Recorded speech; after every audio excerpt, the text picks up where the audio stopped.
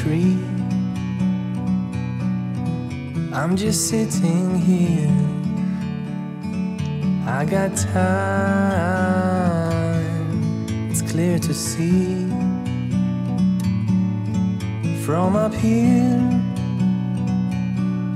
the world seems small. We can sit together. It's so beautiful, you and me. We meant to be in the great outdoors, forever free.